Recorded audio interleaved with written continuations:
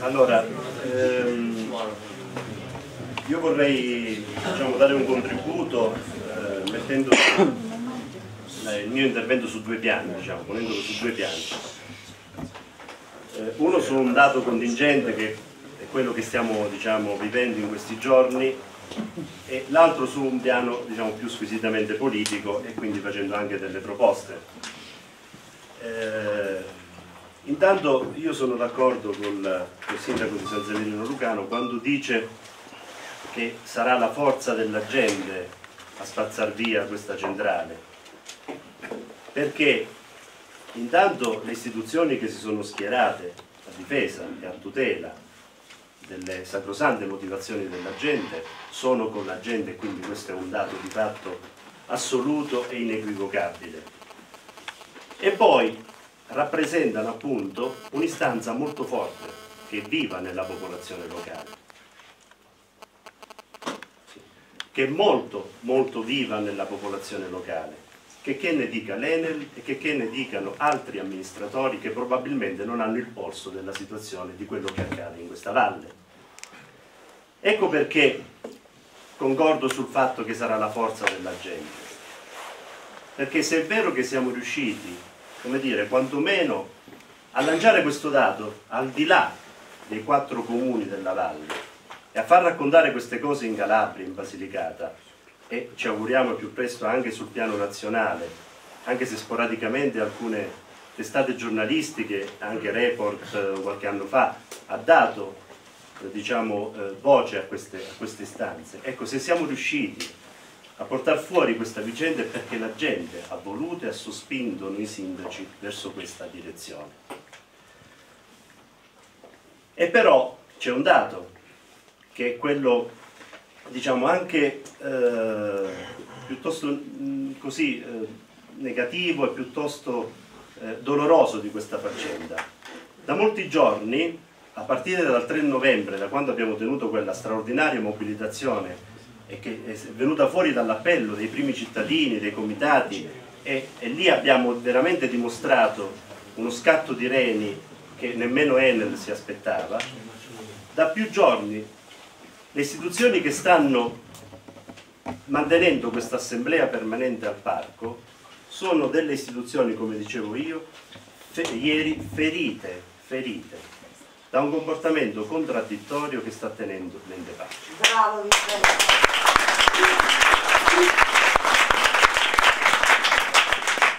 E sono istituzioni, sono istituzioni che prima di questo momento, prima di questa, eh, questo, questo come posso dire, accendere questo, questo, questo esasperarsi ecco, della condizione che stiamo vivendo, avevano come dire, anche intessuto sul piano relazionale, sul piano ecco, delle opportunità di sviluppo, ecco perché il dato è doloroso, anche delle condizioni virtuose in questo parco, sul piano turistico, sul piano della tutela della biodiversità, dei prodotti tipici, su quello che faticosamente le amministrazioni locali stanno mettendo in piedi, anche con il contributo delle agenzie di sviluppo, anche con il contributo del parco.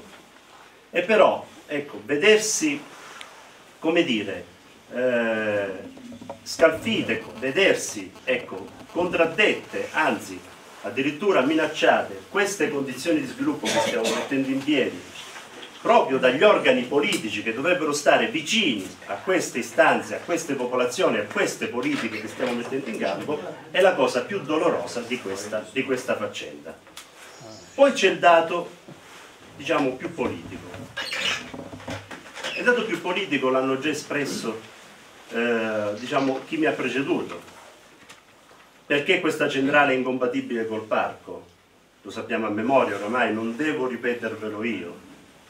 Però ci sono alcuni elementi che ancora voglio, voglio rimarcare e che appunto rimarcano, vedete, non siamo soli in questa battaglia, non è vero quello che dicono, perché eh, l'appello che ha fatto il sindaco di Vigionello, il sindaco di Rotonda, gli altri sindaci, a gettare, dire, uno squarcio di verità anche su questa, su questa vicenda, ad essere vicini a noi, eh, in, questi ultimi, in, questi ultimi, momenti sta, sta raccogliendo una, una, grandissima e spassosa diciamo, adesione, proprio perché i sindaci si sono già espressi in merito attraverso l'autorità della comunità del parco e continuano a rimarcare la stessa cosa, evidenziando una forte contraddizione tra quelle che sono le politiche istituzionali del parco e appunto quello che vuole mettere in campo Enel su, questo, su questa base.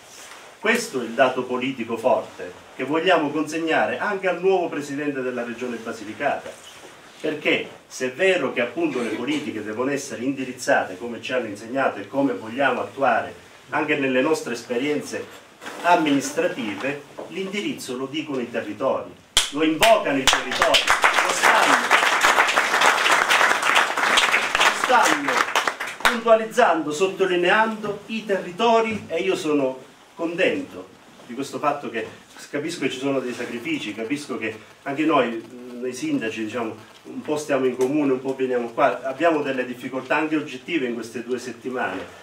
Ecco, capisco che ci sono dei, dei sacrifici, però il dato positivo di tutto ciò e che appunto noi stiamo dettando l'agenda di questa valle in, questi, in queste settimane. E l'agenda è quella vecchia, quella che abbiamo costruito insieme, chi ha istituito il parco e forse glielo dobbiamo anche ricordare attraverso questa mobilitazione. Bravo, E l'abbiamo detto anche al Presidente del Parco tutto ciò, di stare vicino a questa gente, ai produttori locali, a chi si occupa di, di turismo, a chi tenacemente ha costruito con sacrifici, con lavoro, denari, tutto quello che adesso vede svanito da questa nube minacciosa, l'abbiamo detto, di stare vicino a queste popolazioni, a queste istituzioni che credono fermamente nel parco, questo è il dato politico, cioè Vigianello, Rotonda, San Severino Lucano, Terranova di Pollino, Calvera, Latronico, Calvera, Latronico Morano. Morano Calabro, che si scusa per non essere venuto ma è con noi sin dal primo minuto, Ecco, queste istituzioni che sono anche le comunità più corpose del parco, diciamocelo francamente, perché questa presa in giro che alcuni comuni del parco vogliono la centrale, sono comuni che non credono nemmeno nel parco, probabilmente, se, se sponsorizzano a spada tratta un investimento industriale. Allora, e, lo, e questo appello lo lancio di nuovo attraverso le telecamere al Presidente del Parco, di essere vicino a queste istituzioni che stanno che stanno fortemente portando, portando il lustro a questo parco attraverso le attività che mettono in campo tutti i giorni chi vive su questo territorio, attraverso le grandi opportunità che stanno dando anche a tanti giovani che stanno credendo nelle politiche di ritorno anzitutto, di ritorno, di ritorno qui sul territorio e ovviamente di, di stare vicino a queste popolazioni, a questi sindaci che credono nel parco. Perché l'altro dato politico, e questo è l'aspetto più nauseante della faccenda, è che Enel, a cui non sta a cuore evidentemente, andando non sta a cuore la legalità come abbiamo ampiamente sentito, anche gli aspetti sanitari, perché altrimenti come dire, andrebbero a sentenza quanto prima pur di, di continuare i lavori.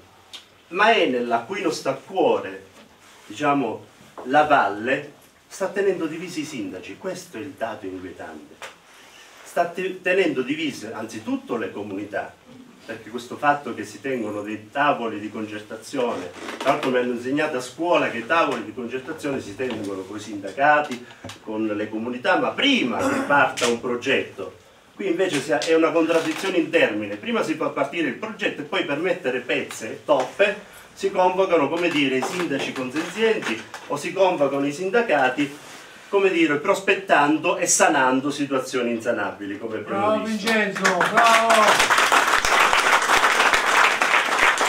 ma questo fatto di tenere divise le comunità e sono le cose a cui piacciono di più ai, ai, ai giornalisti perché una valle divisa una valle divisa che cosa vuol dire? a chi giova? Cui prodest tutto ciò? Probabilmente giova alla politica perché, come dire, non si dà spazio e possibilità di crescita. Si dà spazio anzi alla periferia di essere ancora più periferia. Ma soprattutto, come dire, si può continuare a tenere banchi, tavoli di discussione lontani dai cittadini. Questa è la cosa, è la cosa più triste della faccenda. Non vi devo ripetere che le centrali a biomasse devono essere di piccola dimensione, lo sanno tutti. Tra l'altro le biomasse non sono nemmeno più tra le fonti rinnovabili, insomma dai libri di geografia, ma di recente, perché sono un insegnante, lo sapete, sono anche state scartate, cioè quando si fanno le unità didattiche si parla di energie, diciamo, eh, rinnovabili, non ci sono più le biomasse perché si sono accorte appunto che sono anzitutto antieconomiche e poi ovviamente per gli effetti negativi che avremo nella valle non, non, non, non riescono, riescono, neppure più a inserirle ecco, nei programmi didattici. Allora, dicevo, le centrali biomasse sono di piccola dimensione, questa è la più grande eh, diciamo nel più grande parco d'Europa, definito dal legale della regione Calabria centralina, ecco questo è il dato. Io, io scusate se insisto su queste cose perché voglio bilanciarle su due piani. Da un lato ci siamo noi con le nostre ragioni che ne abbiamo da vendere, i giornalisti lo sanno e lo racconteranno degnamente, ne sono convinto. Dall'altro, dall'altro ci sono, come dire, dei posizionamenti precostituiti che blaterano da dieci anni sempre i soliti concetti, prospettive occupazionali.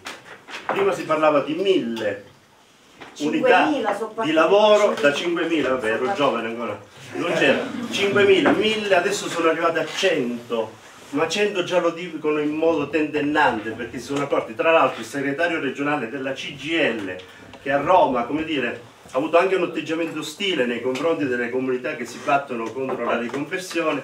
Qui a Rotonda mi pare che abbia detto ma dobbiamo vedere se ci sono posti di lavoro. Ancora non abbiamo il dato completo, ancora. No, ha detto zero ancora. posti di zero. lavoro, non lui, eh, l'operaio della CGL. Va bene, mi comporta questa, questa posizione e non avevo dubbi in merito. Ma ancora, non sono convenienti queste centrali a biomasse, sono tutte centrali in chiusura in Italia. Le altre centrali? Eh sì, di altre, di altre in Italia, il dato che mi porta il sindaco di Rotondo. Ancora, ancora. Prospettive occupazionali. Ci sono, e la valle sono forti, lo sappiamo tutti, e ci sono qui tanti operatori che appunto stanno già lavorando di, da tanti anni, ma noi abbiamo lanciato anche delle domande specifiche a Enel dato, a cui non ha mai dato risposta. O se le ha date sono delle domande così generiche, delle risposte così generiche che appunto riprendono un dato precostituito come dicevamo prima.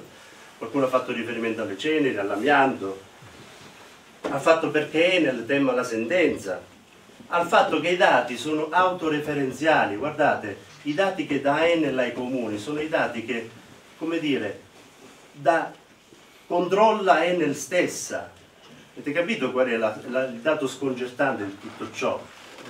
Quindi quale fiducia, quale fiducia dà una società che appunto sbandiera in tutta Italia etica industriale e poi su questa valle, come dire, già sul piano progettuale si è perso mille rivoli di contraddizioni, adesso sul piano pratico non dà nessun messaggio di fiducia alle popolazioni locali.